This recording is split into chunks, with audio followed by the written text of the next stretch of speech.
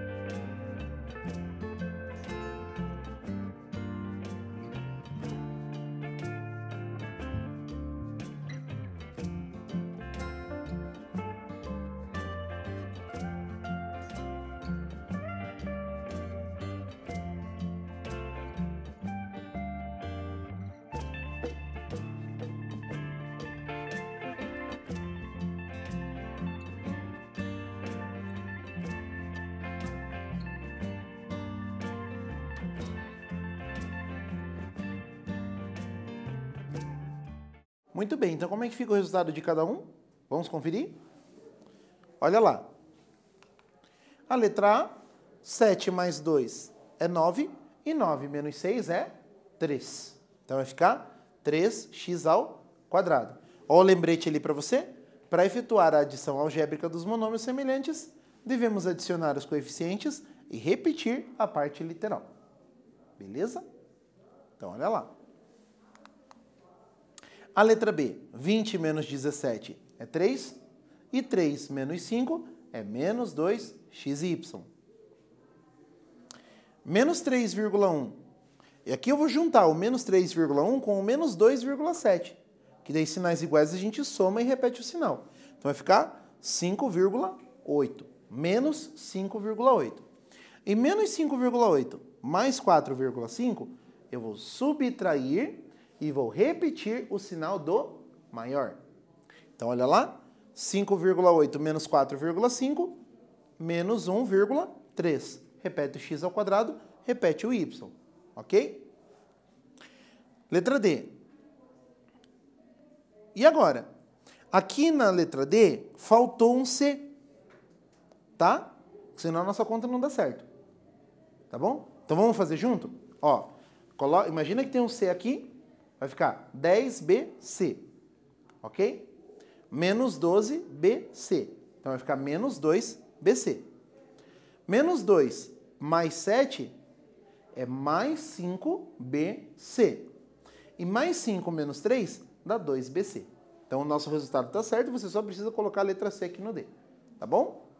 Arrumou aí? Deu certo o resultado? Chegou no resultado ali? 2BC? Para isso, tem que colocar o C aqui, tá bom? Muito bem. Então já fizemos a A, B, a C e a D.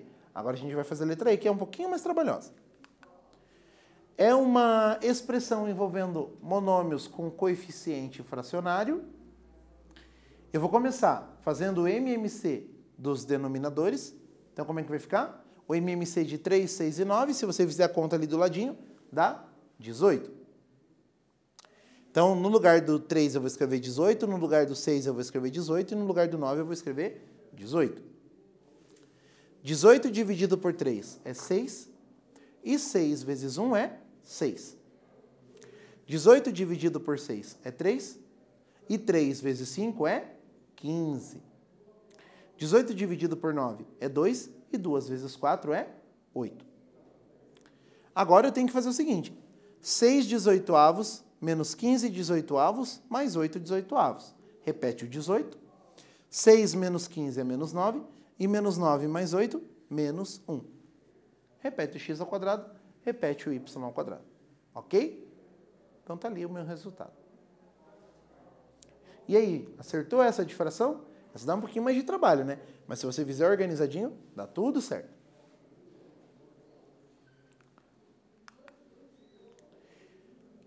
E se os termos não forem semelhantes? Podemos encontrar expressões contendo termos que não são semelhantes, mas é possível simplificá-las, fazendo os devidos agrupamentos em termos semelhantes e realizando as somas.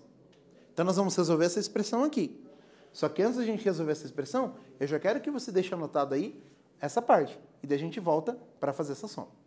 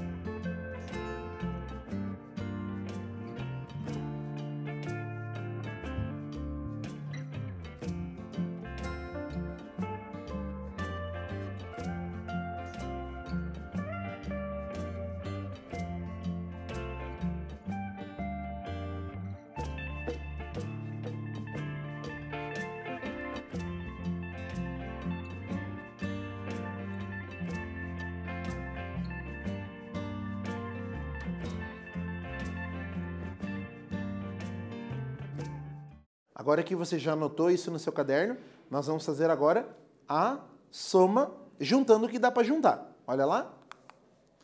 Então o que, que eu fiz? Eu colori de cores diferentes os termos que são semelhantes. Então olha só, o menos 8A com o menos 3A eu ajuntei aqui, em vermelho. O mais 2B com o mais 4B eu juntei em verde. O menos 5C e o menos 9C eu juntei em azul. Ok? Então olha só, Menos 8A com menos 3A dá menos 11A. Mais 2B mais 4B, mais 6B. Menos 5C com menos 9C dá menos 14C. Posso juntar esses termos que são diferentes? Não, porque lá no começo, quando nós combinamos a adição e a subtração de monômios, nós combinamos o quê?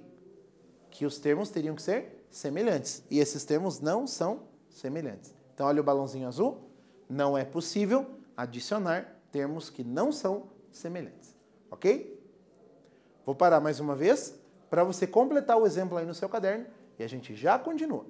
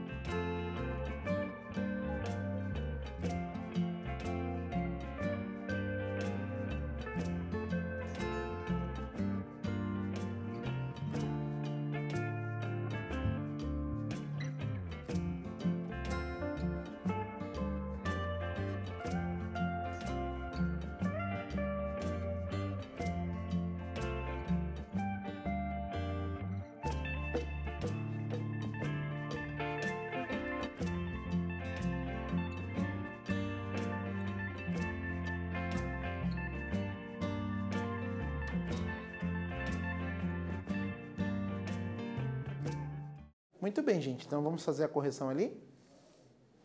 Aliás, fazer a correção não. Você acabou de anotar o exemplo, né? Então vamos continuando. Agora, daqui a pouco a gente vai fazer uma correção. Efetue as operações utilizando a redução de termos semelhantes. Ou seja, eu vou reduzir tudo que der para reduzir, vou juntar tudo que der para juntar, ok? Então olha lá, 3x mais 5x ao quadrado, menos 2x, menos 8x ao quadrado. Quanto que dá? Letra B, menos 4ab ao quadrado, menos 2bc, menos 5ab ao quadrado, mais 4bc. Lembre-se que você só pode juntar os termos que são semelhantes, tá bom? Pense um pouquinho e a gente já volta com a resposta.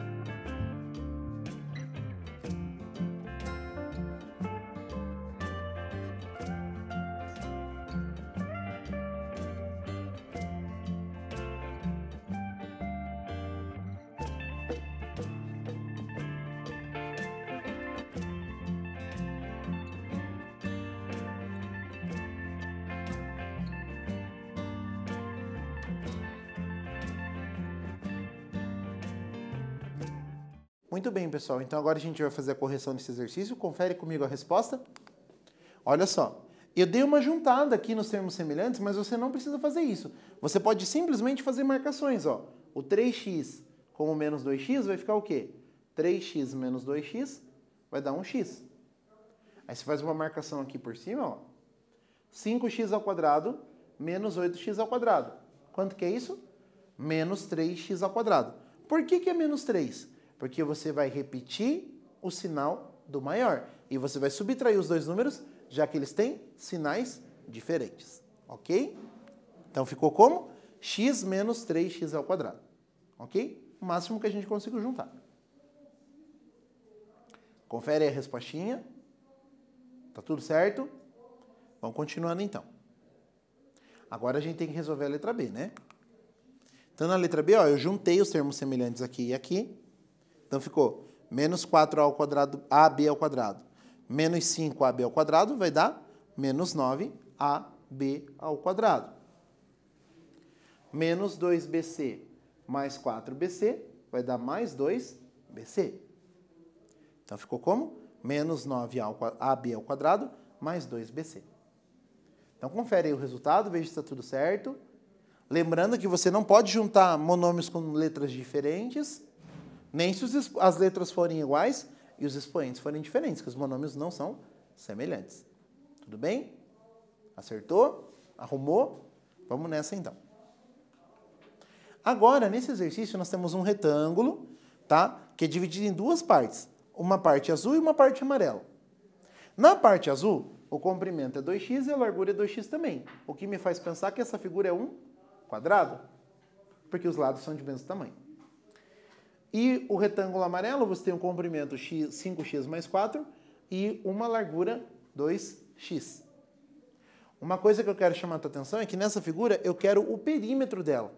Então você tem que lembrar que esse lado tem uma medida, esse lado tem uma medida e este lado também tem uma medida. Então pense com bastante cuidado o que você vai fazer e resolva o exercício bem detalhadinho e organizado e a gente já volta para fazer a correção.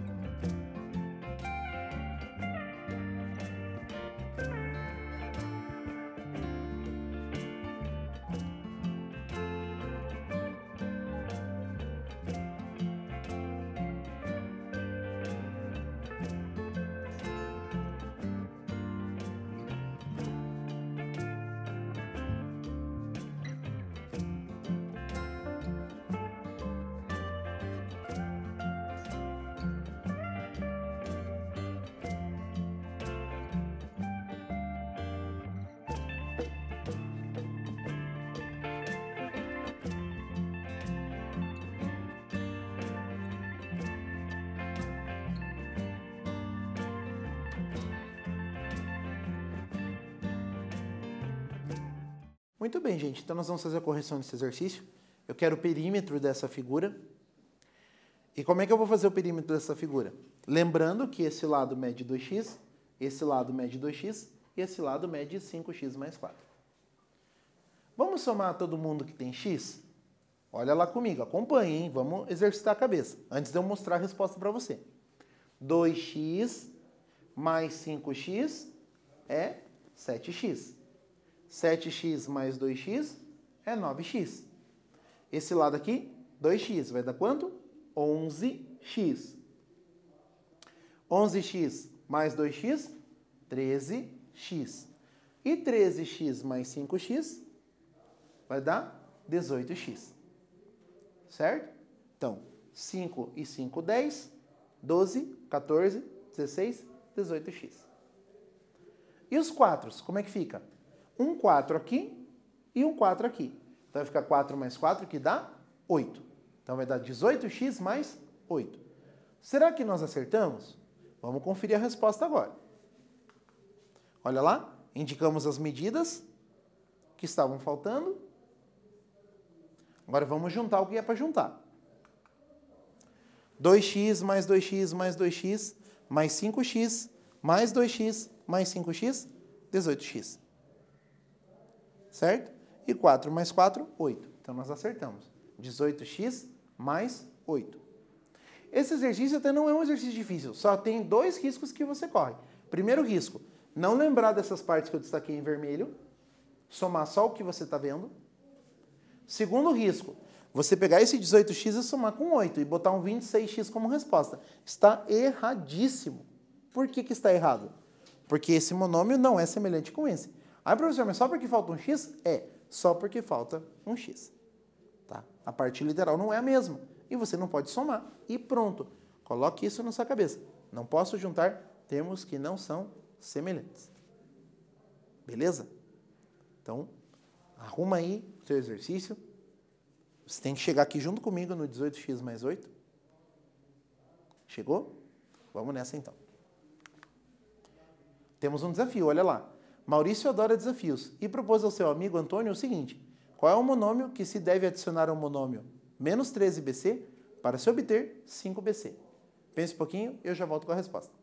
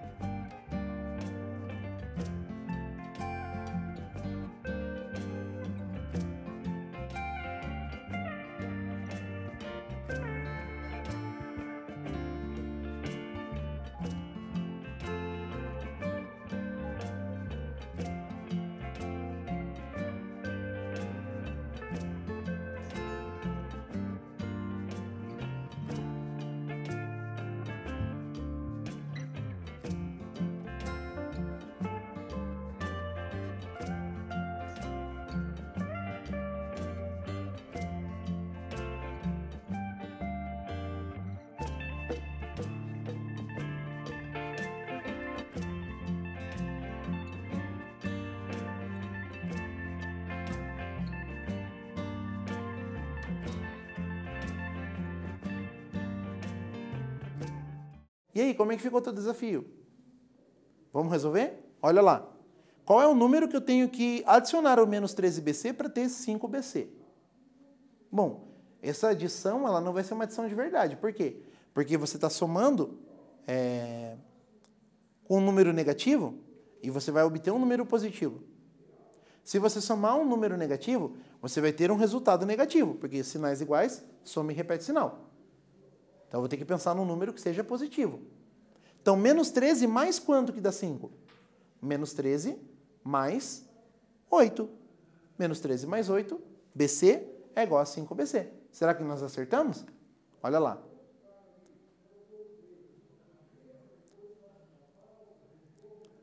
Menos 13BC mais 8BC, o professor se confundiu, não dá menos 13. Não, não dá 5BC, dá menos 5BC. Então não é 8 não, o professor está errado. Agora vamos conferir a resposta correta. O que, que eu vou ter que fazer aqui? Eu vou ter que pensar na operação inversa. E qual que é a operação inversa? Menos 13BC, em vez de subtrair daqui, eu vou somar do outro lado. Então, olha só, 5BC mais 13BC é 18BC. Agora está certo. Você tem que somar um número positivo que seja maior do que 13BC para que você tenha um número positivo, 5BC. Então, não é 8. Se fosse 8, ia dar menos 5. Então, meu palpite estava furado. É 18BC, que daí dá certinho. 18 menos 13, 5BC. Beleza? É um desafio. Tanto é um desafio que o professor aqui se confundiu e fez a conta errada. Mas eu tenho certeza que você que está me vendo acertou. Né? Então a resposta correta é 18BC, o monômio procurado. Beleza? O que, que nós vimos hoje? Adição algébrica de monômios. Adicionamos o coeficiente e repetimos a parte literal. Tá bom? Cuidado com a regra de sinal, que isso é importante. Estude bastante, refaça os exercícios, tá? E a gente se encontra numa próxima aula. Até breve.